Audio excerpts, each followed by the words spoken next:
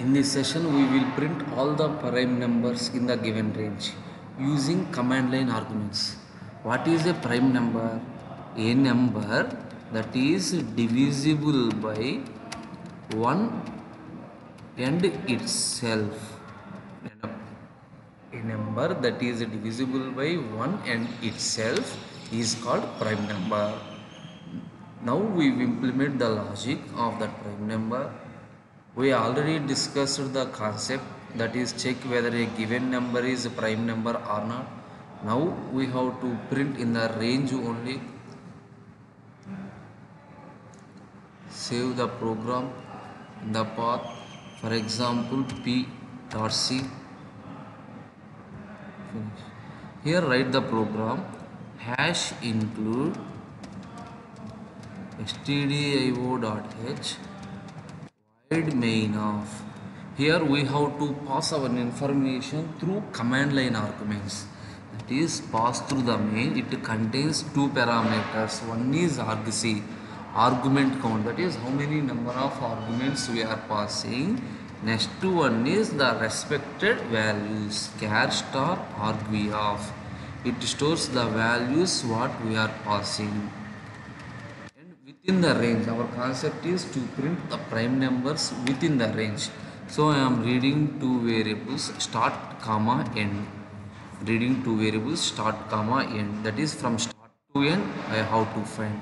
This operation is performed recursively. So for i is equal to start i less than or equal to end i plus plus. Now in the loop first we are considering i value. Check whether i has any factor or not. If i has a factor i is not a prime number. Then move to i plus plus. For example we are starting from 10 10 to 100 i is equal to 10 check whether 10 has any factor or not.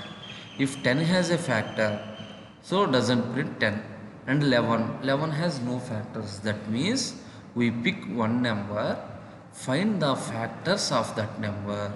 If the number has a factor ignore that number. So we are repeatedly identify the factors. For that purpose i am using the loop. According to prime number every number is divided by 1 and itself. So i am starting from 2 and j less than or equal to j less than or equal to consider any number after half there is no factor. For example 12 half of 12 is 6 there is no factor after 6 14 after 7 there is no factor. So i am checking up to half of that particular number and j plus plus.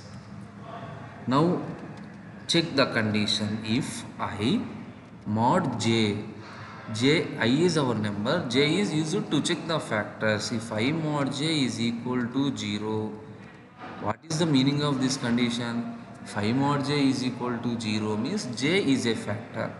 Whenever the factor occurs simply comes out of the loop. Simply comes out of the loop. For example consider number 10 if 2 is a factor for 10 then no need to divide with 3 4 5 so whenever a factor occurs comes out of the loop. Now we are at out of the loop. Remember the case when we are at out of this for loop. After this loop we are entering into this statement that is at this position because of two statements. By the completion of this for by the completion of this for statement or by the execution of break statement. What is the difference by the execution of break statement means we are entering into the loop. We are entering into the loop only when it is a prime number or by the completion of for loop.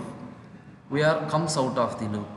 If we are comes out of the loops through the end of the for loop means it is not a prime number. That is our aim is we have to identify how we comes out of the loop. That is either execution of break statement or completion of for statement for that purpose i am using a variable flag with the initial value of 0 in the if statement i am updating flag value is equal to 1 suppose after the loop if flag value is equal to 0 means we are not enter into the for loop. For example number 7 j is equal to 2 j is equal to 3 no factors. So flag value 0 means we are not enter into the loop. Whenever we are not enter means that there is no factor. So that is a prime number.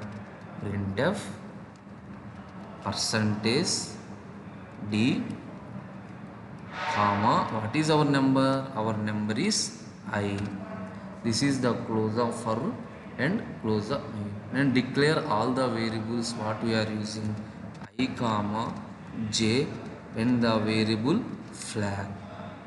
This is the logic. Save the program and build it. So it does not have any errors. So observe the logic from start to end. And in this case in this i am declaring start and end value. But what are the values? Start is equal to argv of 1 end is equal to argv of 2 that is the first index is placed in the start and last index is placed in the end. But this argv is of type characters. We have to convert into integers so to convert characters into integers the predefined function is a to i is a predefined function.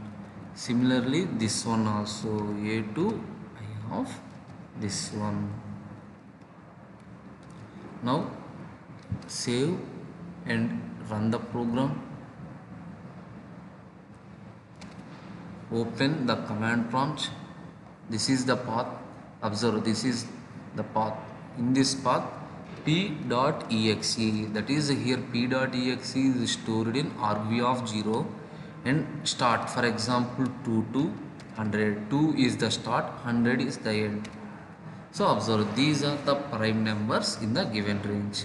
This is the logic of prime number. Thank you